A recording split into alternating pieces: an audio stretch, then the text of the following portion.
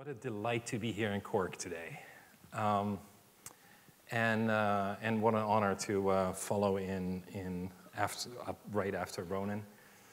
Um, what I'd like to do is actually continue on the same track that, uh, that Ronan just uh, started with new technologies, the challenges that, uh, that we're living in, in in cybersecurity, and how these new technologies can help us. Um, I'm the Chief Information Security Officer for IBM, which means that um, my team is responsible for keeping the company secure. We're a uh, large-ish large-ish enterprise. Um, we're in, active in 197 countries, uh, just under 400,000 employees. And um, the estate, let's say, that I worry about is over uh, a million and a half um, computers strong. Um, you can imagine that uh, you know, the, the, the, challenges that we're dealing with are um, enormous, but they're pretty much the same as um, what you're dealing with um, in Ireland. So, and you know, everybody knows what here at stake. We get more and more things to secure just in IBM, we're talking about a million and a half devices, but they tend to all be on a network, and it tend to be different kind of things that I worry about than, um, than what you can imagine. It's not just the servers and laptops of employees, it's our building management systems, um, the, uh, the elevators, the access control systems, the cameras, um, recently, it was in the news that, um, that the American um, Department of Defense is still struggling with uh, removing or replacing thousands of uh, Chinese-made um, surveillance cameras that they uh, are afraid have backdoors. Um, companies around the world have similar issues with understanding everything that they connect to their network. Where does it come from? Can I trust it? We live in a world that uh, where everybody is, everybody's data is hugely at risk. Um, every day there's another uh, newspaper article or, or news story about a big data breach. Um, this is unlikely to uh, change anytime soon. We'll, we're all getting used to it.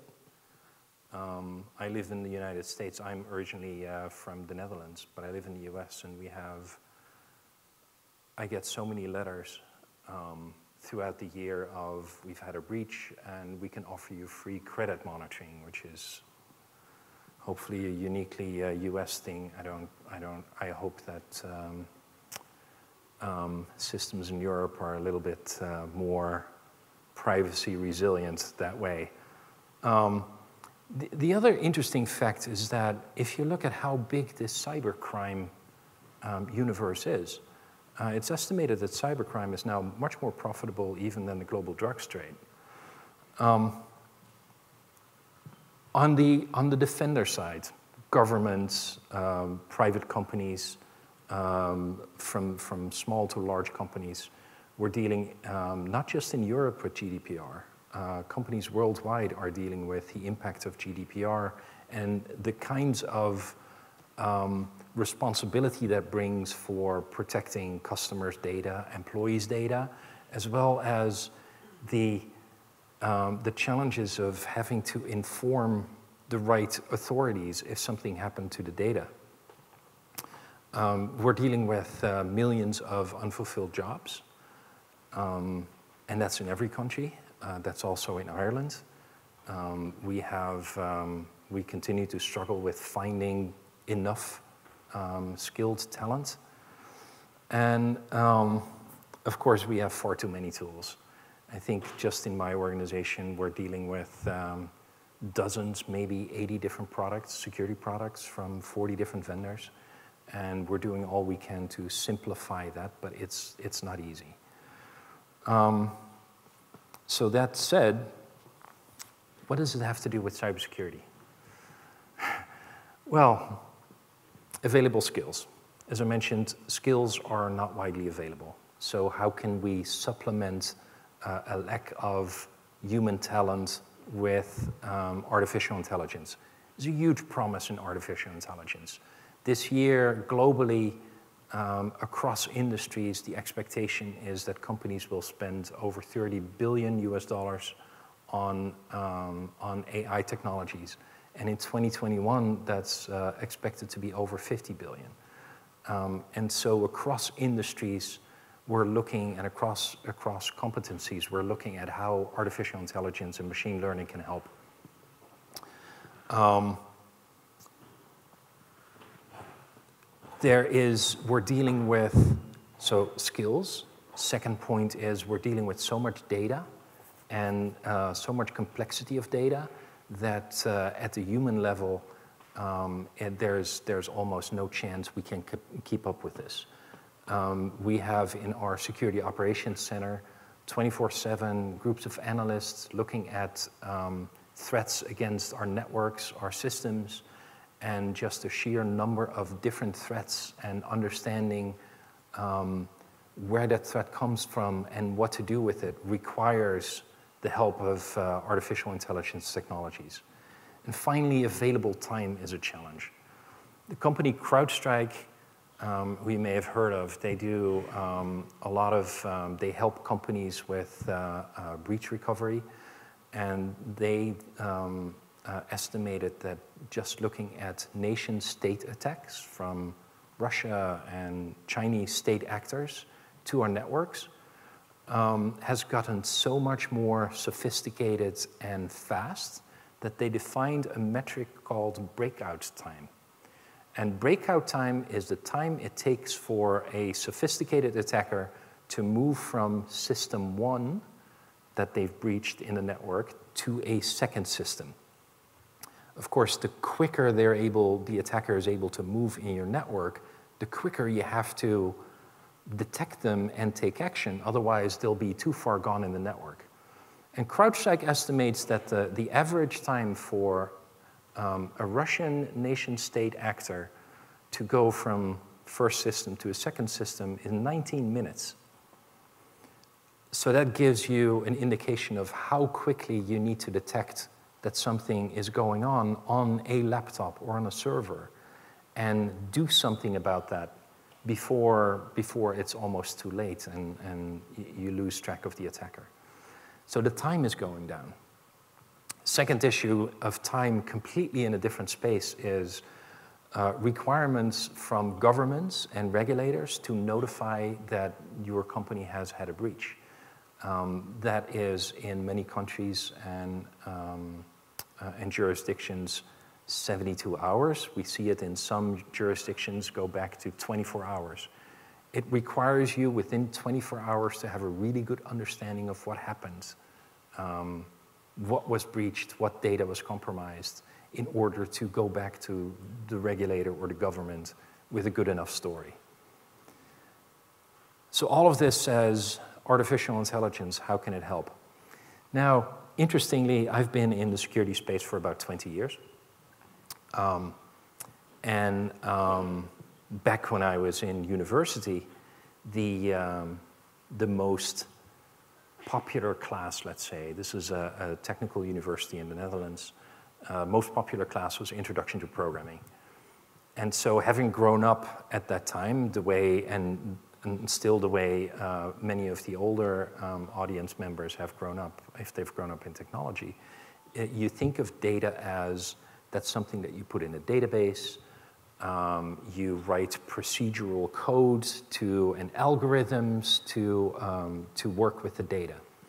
Right now, I would uh, challenge everyone to go to the college here at, in, in Cork, but also um, in, in other countries. Even I've looked at Stanford's and MIT in the US, for example. The most popular course in these uh, technical tracks is Introduction to Machine Learning. So the people that come out of university right now um, have a completely different way of thinking about data. They don't think about data as something that you store in records in a database and then write programs and algorithms to deal with it. They think of it as if I have enough data, I can train a machine learning model to make sense of that data. That's a fundamentally different concept. Um, and that gives, uh, that gives college uh, graduates right now different tools to think about solving problems than what we had 20 years ago. That's very promising. Um, in IBM, we have a lot of um, uh, software developers and engineers from all different age groups.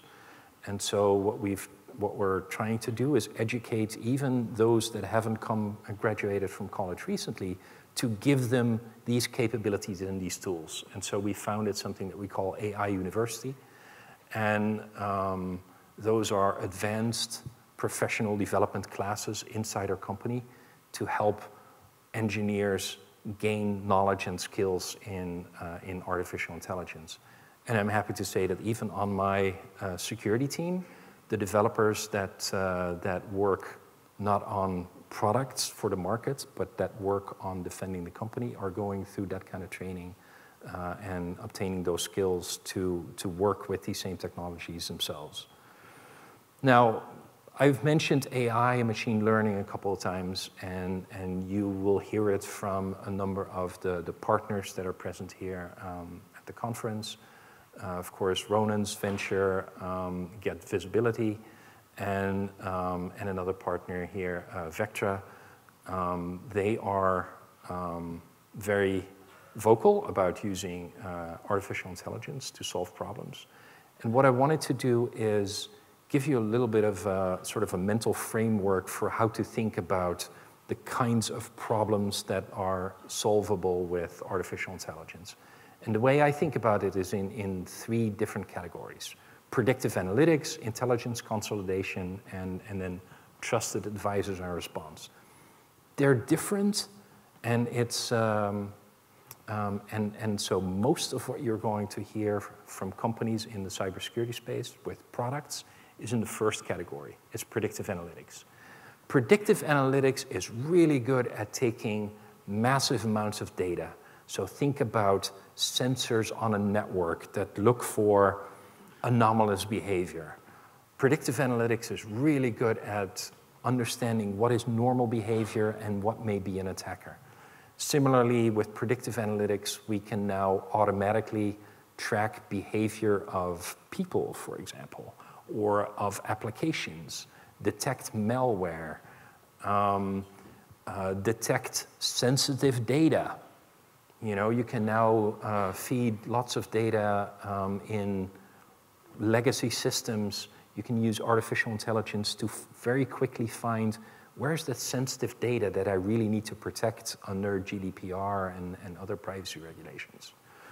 Um, but it also includes technologies like biometric authentication, which is a new way of understanding who sits behind a computer. Biometric authentication um, on a, on a, uh, that's being developed and available now on smartphones understands from the way that the user interacts with the smartphone, the you know, how hard you press your finger on the screen, how fast you swipe, how thick your swipe, swipe is, how long, etc., the location of the phone, what networks it's connected to, about 200, 250 different parameters. It can recognize if this is really me that's using my banking applications, or if somebody else uh, has taken my phone and is now using it, or is impersonating me. So it's a wide variety of technologies. The, um, and I would, I would venture to say that 95% of the technologies that we're seeing being successful right now are in this category. They're typically fairly narrow types of artificial intelligence or machine learning. We're not talking about generalized AI and reasoning, we're talking about very narrow applications. And um, as practitioners, um, that is useful because we're getting increasingly benefits out of uh, machine learning um, based tools. Second category would be intelligence consolidation. What if we had a technology that could read regulations that are changing in so many different countries every day, that could keep up with changing laws, that could keep up with research that's happening in, in security? Um, interestingly, there are a number of technologies already in play today. In, inside IBM, we use uh, artificial intelligence to do exactly that, keep up with government regulations so that we don't have to have hundreds of people tracking this on a daily basis. We're using it, uh, and this is also in some of our products, um, to keep up with um, uh, threat research and other you know, regularly written text to analyze it and, and pick out um, critical data elements that can then be used to reason about a cybersecurity problem. Very interesting field um, and, and quickly developing. The third category is trusted advisors, and this is the category that I'm personally the most interested in. There's a dirty secret in security operations um, that has to do with how dependent we are on humans to do the work. If it takes a security analyst, let's say on the basis of an alert in the Security Operations Center, half an hour to do the background investigation, and we have an analyst seat 24 7 um, occupied, so probably three people over the course of a day. That means half an hour times 24 hours in a day um, you can handle 48, let's say 50 investigations, alert investigations per day. So now you have two seats. That takes already seven people to, um, um, to be able to staff that 24 7. You can do maybe 100 alerts per day. What if we could do 10,000 or 100,000 using automation, uh, using machine learning? uh, that would give us a, a, tremendous opportunity to tune the sensitivity of our detections to be much more, have, have much more sensitivity. We could risk a lot more false positive. We could investigate a lot more in depth than what we could do with people. Um, similarly, there's an activity that's called threat hunting, where you take, you go through all your data and you go look for adversaries. With uh, artificial intelligence, um, we can do that work much faster and, and into much more detail. Um, this is the area that uh, I'm, I'm the most excited about because of how much people effort it takes to be able to manage a security operations center for 24, uh, 24 hours a day. Um, our attackers, the adversary, of course, is uh, not sitting still. Uh, Ronan gave some examples about uh, adversaries using um, uh, artificial intelligence to speed up attacks, to impersonate people, to with deep fakes uh, impersonate people with the, uh, the audio examples that, that Ronan gave. Um, I would say, you know, if you're in, if you're thinking about artificial intelligence, absolutely think about how are attackers able to use it. They can accelerate attacks, do phishing attacks much more efficiently. A phishing attack is really successful if you, if you, can, um, if you can figure out a way to study your target. For example, on Twitter, there are a lot of uh, phishing attacks on Twitter. People are so vocal on Twitter, it's very um, easy now to understand how people think and then uh, craft an, an, attack that will be uniquely uh, targeted to that individual. Um, we now see attacks happening at scale using artificial intelligence that first learns about the habits of somebody and then crafts uh, a targeted attack.